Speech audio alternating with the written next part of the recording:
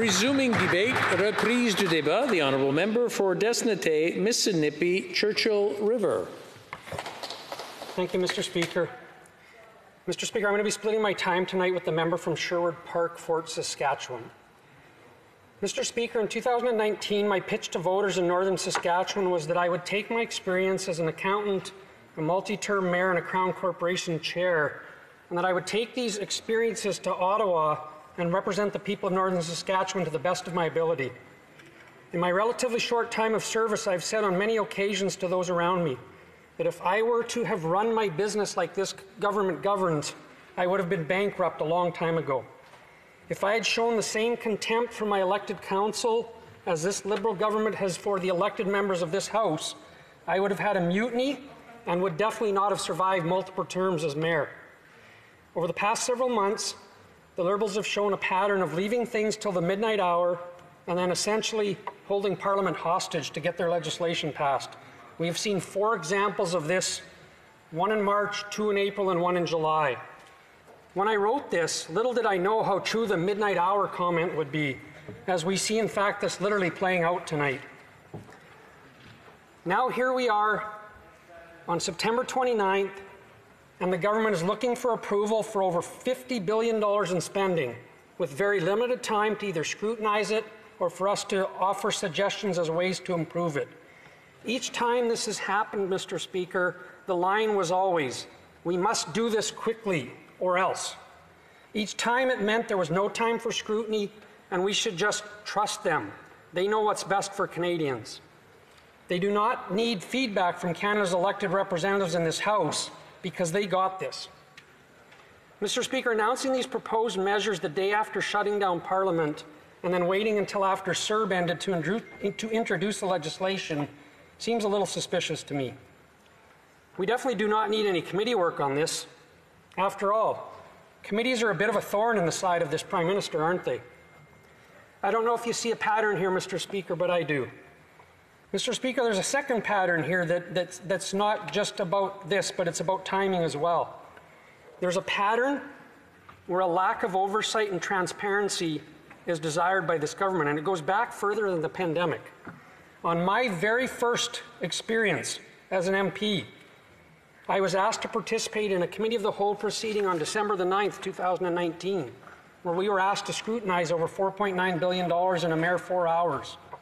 My first reaction was seriously? In my role as the mayor of my little city, we spent many hours and even days scrutinizing, scrutinizing the spending. And I can assure you, Mr. Speaker, we were not dealing with numbers of this magnitude. Let me fast forward a little bit.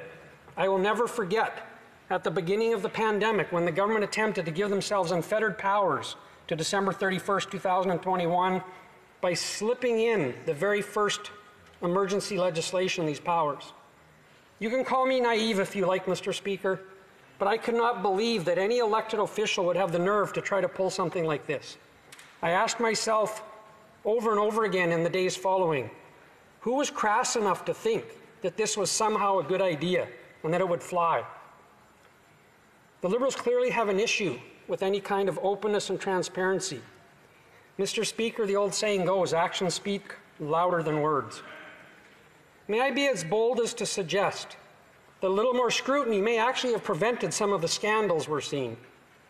Maybe, may I be as bold as to suggest that a little more consultation up front and better parliamentary process might have led to, for example, Indigenous businesses being included in the original business supports like SUS and CEBA instead of being added only as an afterthought when they were left out in the original legislation. This is the relationship that the Prime Minister likes to repeatedly say is the most important one to his government. If that is in fact so, why did it take weeks of pressure and lobbying to have Indigenous owned limited partnerships included in SUS? Why did it take months for Indigenous businesses to have access to a version of CEBA when a little consultation would have clearly identified that the original version would not work for them as the, they do not utilize traditional banks. Mr. Speaker, the same point could be made about many small businesses and, own, and farmers as well. A little consultation would have easily determined that there was going to be a significant problem preventing many of them from accessing CEBA as well. This literally took months to resolve, leaving many fearing for their ability to survive. My colleague, the member from Thornhill, in his speech yesterday shared some very wise words, and I think they're worth repeating, so I'm going to quote one paragraph. He said, The COVID crisis is not just a health crisis. The COVID, COVID has taken a terrible toll on our Canadian economy as it has with economies around the world. Canada today has the highest unemployment rate in the G7, despite having almost the highest spending in the G7. With the amendment to Bill C4 now before us today, Canada's deficit and debt would soar to historic record new levels. Mr. Speaker, yesterday I asked the people of my riding a question on social media. I asked them what I should say to this government when I had an opportunity to speak today. The number one answer was, What is the plan for all this spending? Then they added, When I take out a loan, the lender wants to know how I will pay it back, along with many other criteria. It's an interesting concept, isn't it, Mr. Speaker? A plan. What a novel concept. The answer I'm giving to the people of my constituency is that I don't believe there is a plan. There is no plan to ever balance the budget, yet alone repay any of the debt incurred. Former Saskatchewan NDP Finance Minister Janice McKinnon co chairs the CD Howe Institute uh, the, sorry, the C.D. Institute's Fiscal and Tax Working Group with former Liberal Finance Minister John Manley. In a recent report, they urged the federal government to set limits on spending and to ensure that when spending is approved, it is truly necessary and contributes to Canada's longer term productivity. Sounds like a plan. In a recent Globe and Mail article, economics reporter David Parkinson shared some very interesting thoughts with us. He talked about the misery that was the second quarter of 2020. He talked about the lost quarter. He then referenced an 11.5% plunge in gross domestic product, which is the worst quarter to quarter decline ever. Millions of Canadians are out of work, more than doubling the pre pandemic unemployment rate. Yet, in the midst of all this, Canadians' incomes actually grew.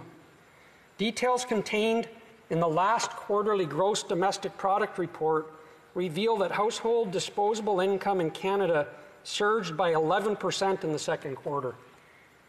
That obviously left, led to the question where did this surprising income explosion come from? It certainly wasn't wages because they tumbled by almost 9%.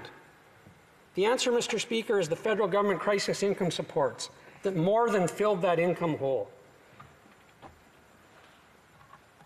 The employment compensation in our country was reduced by $21 billion, but disposable income went up by $54 billion in government transfers. That's astounding, Mr. Speaker. This tells us that the government response has gone way beyond the goal of simply replacing lost income. Now, Mr. Speaker, let me be really clear. Some will take my comments to say that I do not believe that some of the extraordinary emergency funding has been needed and continues to be needed to support Canadians in their time of need. Nothing could be further from the truth. Any compassionate and just society has a moral obligation to help people in their time of need.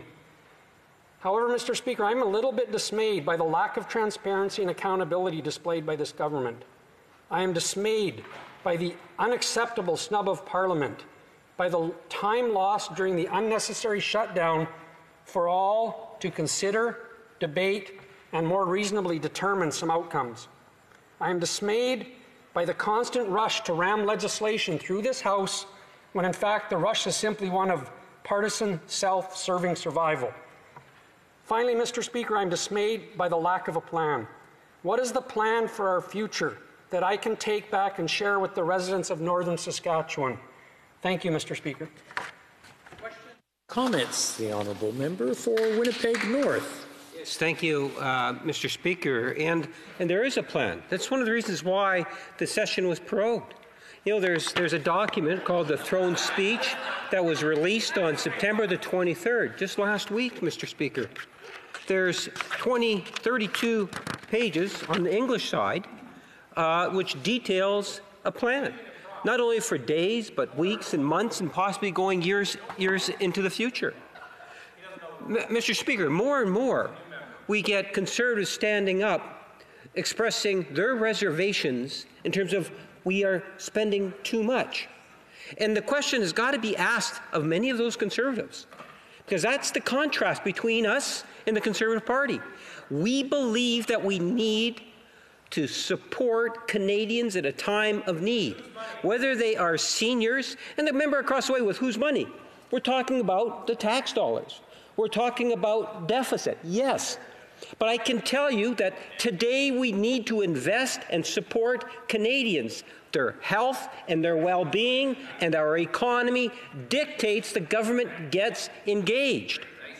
My question to the member is Does he not agree that if the government of Canada did not get, into, get engaged into the degree in which it has and worked with the different provinces and other stakeholders, would he not agree that the impact on our country would have been far more devastating?